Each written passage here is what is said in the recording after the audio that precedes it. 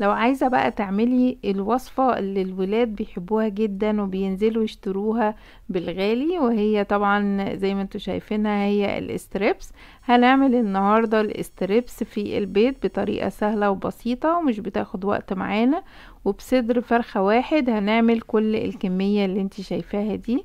وطالعة جميلة ومقرمشة ولذيذة وأحلى من اللي بنشتريها من بره بكتير والصدر شايفينه لونه أبيض ولذيذ وطالعة مستوية وجميلة. يلا نشوف الطريقة مع بعض بس ما تنسوش الاشتراك في القناة واللايك والشير.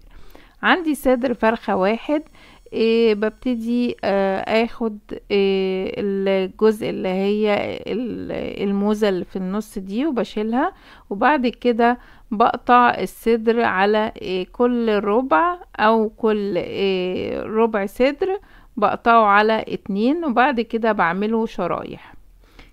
يعني الصدر بيتقطع على أربع قطع وبعد كده كل قطعة بقطعها شرايح. أول حاجة الفص اللي هنا ده الموزة بتاعته بشيلها وبعد كده بقطع زي ما أنتوا شايفين كده في الفيديو والشريحة تبقى رفيعة وطويلة. يعني بتبقاش برضو أنا مش مصغراها قوي.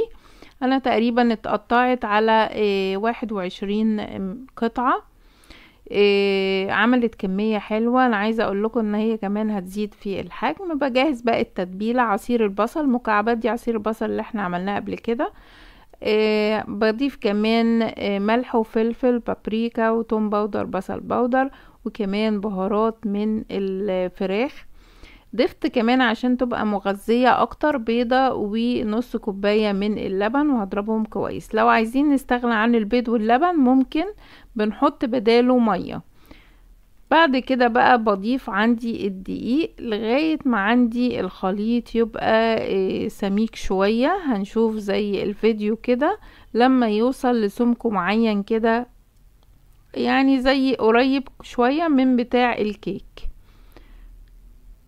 أنا ما حددتش الكمية بالظبط عشان أنتوا إيه طبعا كل دي بيختلف عن التاني. أهم حاجة انكم تعرفوا السمك بتاع الكيكة. وبعد كده ببتدي أحط عندي الصدور المتبلة بالبصل والملح والفلفل. ممكن أسيبهم في التلاجة ممكن من ساعتين تلاتة وممكن نشتغل على طول يعني مش هتفرق.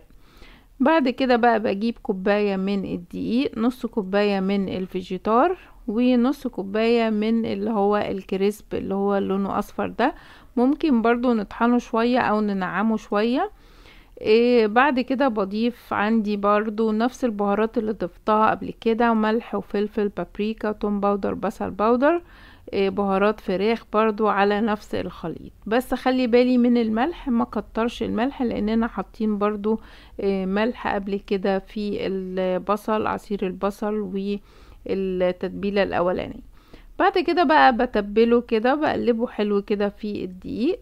وبحاول انفض كده خفيف يعني بحيث ان الدقيق الزيادة ينزل من عليها. زي ما أنتوا شايفين كده في الفيديو أكيد الفيديو شارح. بعد كده بشتغل فيها على طول بالزيت يكون سخن وبنزل بيها. مش بركنها يعني مش بتبله واركنه في التلاجة لا أول ما ابتدي أتبله بالدقيق بنزل بيه في الدقيق الزيت السخن كده على طول. مش بتاخد تلات دقايق وبيكونوا استووا. طالعة جميلة ومقرمشة ولذيذة. واللون الذهبي الجميل اللي أنتوا شايفينه ده. وطبعا الطبقة بتاعة الاستريبس مختلفة عن الطبقة التانية اللي بالدقيق. إيه مغذية فيها بيض وفيها لبن. محبتش المرة دي تبقى دقيق بس. حبيت إن هي تكون فيها بيض ولبن تبقى مغذية للولاد. طلع كمية جميلة جدا. أنا عديتهم حوالي واحد وعشرين قطعة يعني تكفي أسرة ممكن مكونة من أربع أفراد أو ست أفراد كمان. طلع جميلة ولذيذة ممكن بقى نقدمها مع المكرونة والاكلات اللي أنتوا بتحبوها. لو عجبكم بقى الفيديو ما تنسوش الاشتراك في القناة وال like وال share. bye bye.